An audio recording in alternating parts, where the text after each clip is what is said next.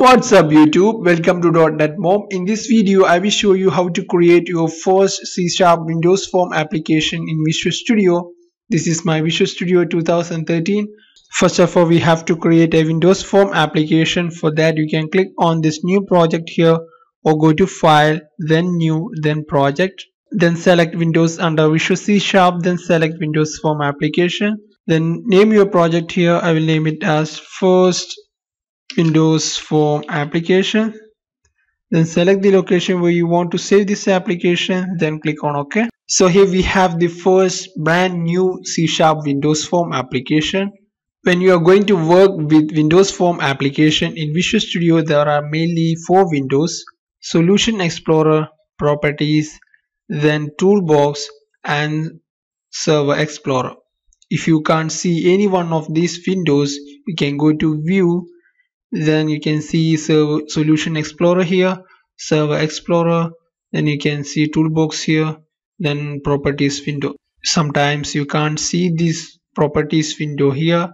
In that time you can use the shortcut F4 in solution explorer it will list all of the projects available under this solution. Under projects it will list all of the files inside the project Inside the properties window, you can change or add events related to the form control. Then we have Solution Explorer to deal with databases.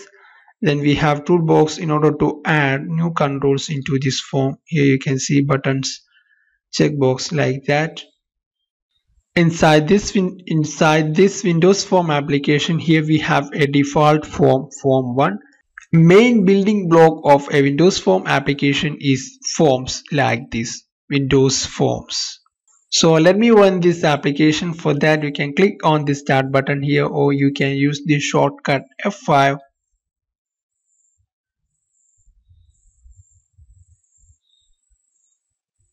so here we have the form default form you can see the close maximize and minimize button. So it is a simple form. Let me close this. So when we run this application this default form one is displayed. So where we specified this uh, windows form application windows form as the first form. It is specified inside this program.cs file. Here you can see application.run inside that we have passed an object of this form form 1 now I want to change this form title here. Currently it is form 1 for that you can right click on this form then go to properties. Now change this. I will change it as first C sharp Windows form application.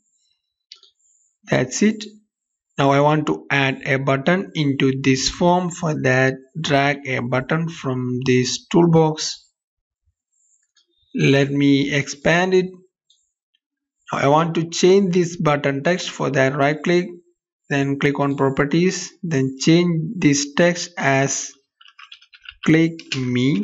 Other than this text property here you can see a lot of properties related to this button. You can change its background color back color foreground color background image. Lot of properties are here. For now i will keep it as it is. Now let me run this application for that you can click on the start button here. So here we have the application. Here you can see the form title as for c sharp windows form application.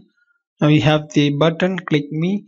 If you click on that you can't see anything happens now I want to show hello world when user click on this click me button. For that I'm gonna implement button click event for this button. For that right click on it then go to properties then click on this events lightning symbol in order to see all of the events related to this button inside that you can see a click event now i want to generate the click event for that double click on it for that you can type like this message box dot show.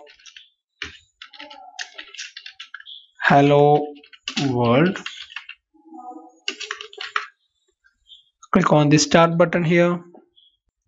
Click on the start button. So here you can see the message box showing hello world string. That's it guys. If you have enjoyed this video please be subscribed to this channel .NET you can find more related videos in video description. Please like and share this video with your friends and colleagues so that they can benefit from this. Have a nice day. Bye